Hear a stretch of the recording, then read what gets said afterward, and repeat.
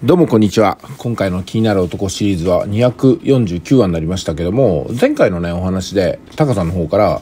三国志を読んでいるということと、まあ、戦いに勝つためには、まあ、優秀な軍師が必要だということ。つまりは、知の利がなくてはいけないってことだったんでね、今回はですね、えー、やっぱりこう、名称といえば、ヤン・ウェンディでしょうということなんで、ちょっとね、銀河帝国の方から持ってきて、え、しまいました、え。YouTuber が使うとこうなるヤン・ウェンディ名言ということで、いくつか紹介したいと思います。よろしくお願いします。じゃあまず一つ目。こんな言葉があります。トークスキルについてなんですけども、ヤン・ウェンディはこんなこと言ってますね。言葉で伝わらないものが確かにある。だけどそれは言葉を使い尽くした人だけが言えることだ。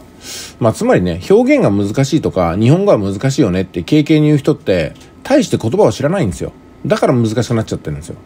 でも本来、言葉だけではどうしても伝わらないなっていうのは、言葉を尽くした人ね、えトークをかなり、えー、縦横無尽に使った人が、あ、それでも解決できない問題があるよねって時に言えることかなと思うんですよ。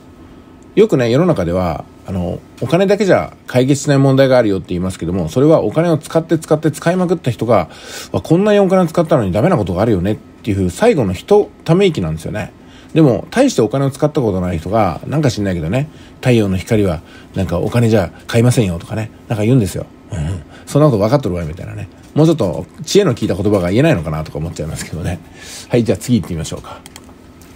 えー、価値の差ですよね。まあ、物事の価値ってのは多くの人に、あの、差があるもんですよね。それから時期によっても差があります。青春時代あんなに打ち込んだ音楽活動、今となっては懐かしい思い出で、古ぼけた楽器を触ることもないみたいなことがありますけどね。やっぱり何にものすごく情熱を傾けるかって時期にもよるし、周りの人、一緒にいる人にもよるんですよね。うん、はい。こういうふうに書いてます。鷹とスズメでは視点が違う。金貨の1枚は億万長者にとっては取るに足りないが貧乏人には生死に関わるということですねこれがね何を意味するかっていうと人の体験ってのは自分にとっては大したことがなくても実はその体験によって命を救われる方がいるってことなんですよねだからこそこの YouTuber としてアウトプットする動画の一個一個に問題解決が必要なんですよ。自分の体験としての問題解決。体験に勝る知識を得た上での問題解決。そういったものを放送することによってなるほどと視聴者さんに言わせればそれは販売につながるってことなんですよね。お金を出してまで欲しい知識。お金を出してまで聞きたい体験っていうのが世の中には存在します。さあそれほどまでのことを一話一話してるでしょうかということになります。はい次はね働くことの意味でございます。こういう言葉をヤン・ウェンディ提督が言ってます。これ以上働いてたまるか。私は頭を使った。体は別の誰かに使ってほしいね。ということなんですよね。こういうことなんですよ。つまりは頭のいい人って体を使うことがないんですよ。頭を使ってその使った頭によって体を使わなければならない人に、え益を与えているわけですかね利益をね。で自分で考えることができない人とか自分で決断できない人っていうのは体を使うしかないんですよね。頭も使えない。体も大して使わない。っていうことになるともうちょっとビジネスはできないかなっていうところになりますね。はいじゃあ次行ってみましょうか。まあ YouTube には広告収入があります。今広告収入を得てる方っていうのはおそらく同じような金額が来年や再来年も入ってるでしょうでも単純に考えてね動画1万本撮って毎月毎月3万円入ってる人がいるとしたら動画10万本撮ったら毎月30万入るわけじゃないですかこれは将来年金にも相当するんで、だからコツコツと広告収入っていうのは積み上げる必要があるのかなと思います。ただし、こういうふうにヤンテンとか言ってますね。せっかくの年金も同盟政府が存続しないことにはもらいようがない。したがって私は老後の安定のために帝国軍と戦うわけだ。ということでございます。まあ、つまりね、YouTube の広告収入もらおうと思っても、YouTube が順調に利益を上げ続けていかなくてはならないんですよ。ですので私たちは得た収入の何割かを YouTube にお返しする意味で YouTube の、まあ、プレミアムプラン毎月1180円ですけどねこちらの方に入るのは理にかなっていることじゃないかなと思いますはい。では販売戦略について申し上げましょうか。これねちょっと難しいんでねゆっくり読みますよ。戦術レベルにおける偶然は戦略レベルにおける必然の、えー、予行の破片であるに過ぎない。これどういうことかっていうとねあの販売にも戦略と戦術ってあるんですよ。大きな枠組みで決めるのが戦略です。どっちの方向に向かおうかなっていうのが戦略です。そして現場単位で小さな優劣を競うのが戦術なんですよ。まあ言ってみればね戦術ってのがトークスキルだったり、えー、キャッチコピーだったりするんですよね。サムネイルの画像の作り方とかもタイトルの作り方もそうです。でも戦略っていうのは一体どこに向かってこの動画の単体を線にして面にして立体にしてるのかってことなんですよ。言うまでもなく、まあ、私の動画っていうのは最終的に誰かに物を売るってことです。で物を買った人はその人は悩みがなくなっちゃうというね。なんとお金を払うだけで悩みがなくなる。こんな素晴らしいことはありません。なぜなら人はお金を払ってるのに悩みがなくなってないからなんですよ。そのうん中でね私の場合はお金を払ったら悩みがなくなりますよっていうことを販売してるわけなんですよね。えそのために一個一個の動画が分散してあるわけなんですけどもそれをつなげてついつまがあったりとかね伏線が回収できたりするわけなんですよね、まあ、ですんでこの億万長者合宿をはじめとする、えー、やり取り気になるとこシリーズも、うん、行ったり来たりすればするほど問題解決が進むわけなんですよね。でさらにねあ自分はこんなことも知らなかった。こんな問題をやり過ごしてきたっていうことに気づけるわけなんですよ。つまり私の気になるとこシリーズってのは問題解決とともに次に解決しなければならない問題も浮き彫りになるというね、まあ、一粒で二度以上美味しいというそういうやり取りになってますので、えー、このやり取りを目にした方はお得ですよってことになります。はいじゃあ次行ってみましょう。はいマインドの大切さと罪でございます。よくねマインドが大事だよって言いますけども実はマインドもねこんなことに使われることがあります。え信念とは過ちや愚行を正当化するための化粧であるに過ぎない。化粧が厚いほどその下の顔は見にくいということでございます。ちょっと分かりにくいですからね。解説しますね。信念とは言うまでもなくマインドのことですけども自分の思いが大きければ大きいほど結果が出なかった時にねそれを言い訳にするんですよ。いや本当にね頑張ってやろうと思ったんだけどね。でも約束守れなかった。ごめんね。ね。いや一生懸命やったんだけどね。売り上げになんなかった。ごめんね。どうですかね。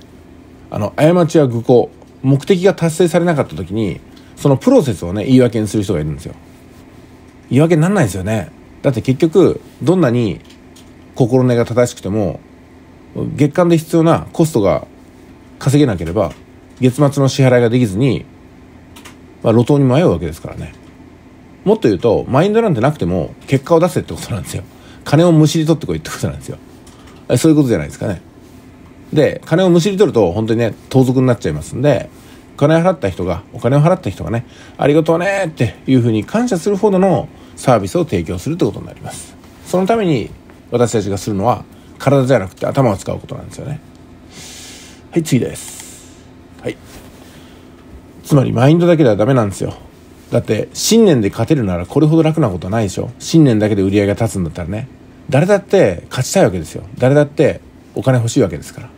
じゃあそこに必要なのが緻密な戦略でありしっかりとした戦術なわけなんですよ。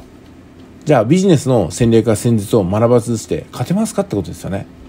だって学んでさえなかなか勝てない人がいる中で学んでない人って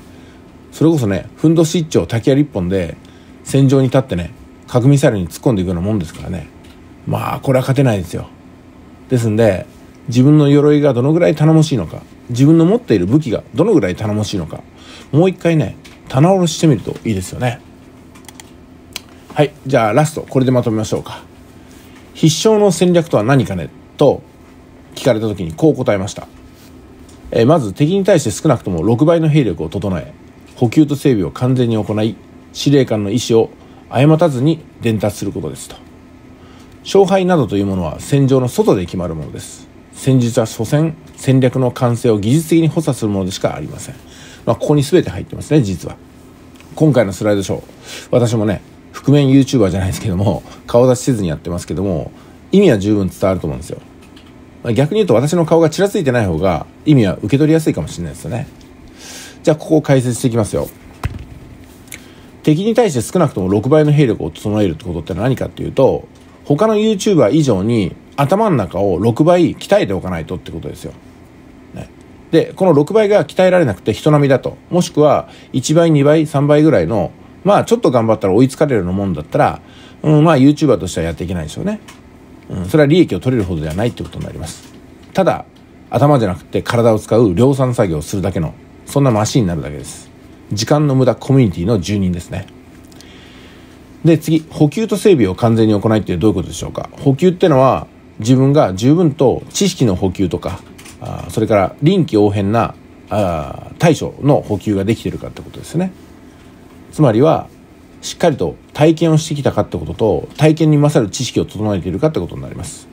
じゃあ次は整備は何かっていうことです。整備っていうのは自分が仕事ができる環境をきちんと整えたかってことになります。まあ例えばね、周りの人と揉めていたりとかね、お腹が痛かったりとか、体調管理できてない状態だと整備ができてないということになりますし、パソコンが古かったりとかね、それからマイクの調子が悪かったりとか、まあ様々ありますよね。するべき整備っていうのは本当細かくなります。それこそトイレ掃除だってちゃんとしてないとそれは整備ができてないということになりますのでおそらくいろんなところで不都合が出るんじゃないかなと思いますで3行目司令官の意思を誤ったずに伝達することっていうのはこれは発信者がその情報を受け取った人があの意思をね誤ったずにお伝えできてるかってこと、まあ、つまり、えー、達しているか言うことが達しているかってことですよね。誤解の多い表現を用いてはならないですしあまりにも理解力の乏しい人に向けるものでもありません。きちんと放送1回1回で視聴者さんをフィルタリングしていく必要があるということになります。はい以上のような形でね勝敗などっていうのは戦場の外で決まるもの。つまりは YouTube の動画を作る前にもう決まってるってことなんですよ、うん、で先日、うん、YouTube のサムネイルとかタイトルとかなんか動画のね内容とか喋り方とか話す順番みたいなのっていうのは所詮大枠で作った戦略の完成を技術的に補佐するものでしかないってことなんですよ。これは本当その通りで、キャッチコピーがね、美しくても、これは売れないですよ。全体的なメッセージが誤っていれば。で、6倍の兵力を整えていなければね、補給と整備が不完全だったら、どんなに上手なサムネイルを作っても、取って防いだものになっちゃうわけですよ。サムネイルを見て人はね、商品売ったり買ったりするわけじゃないですからね。あくまでもきっかけの一つに過ぎないわけですよ。で、実際にものが売れるかどうかっていうのは動画の内容が繰り返し繰り返し自分の心根に視聴者さんからしてね訴えかけるものが重なっていけばこの人なら大丈夫だっていうふうに思ってくださるわけですよねで場合によってはセールスしてる商品以外のものが求められるかもしれませんえそういう時でもね私たちはあ情報を扱ってますからいかようにも商品を作って打ち出していくことができるということになりますまあ以上ねあのヤン・ウェンディさんからいただいた言葉を YouTube YouTuber 的にまとめてみました。まあ、ぜひね、ご活用いただければと思います。以上をもって今回の気になる男249話にさせていただきます。それでは、いってらっしゃい。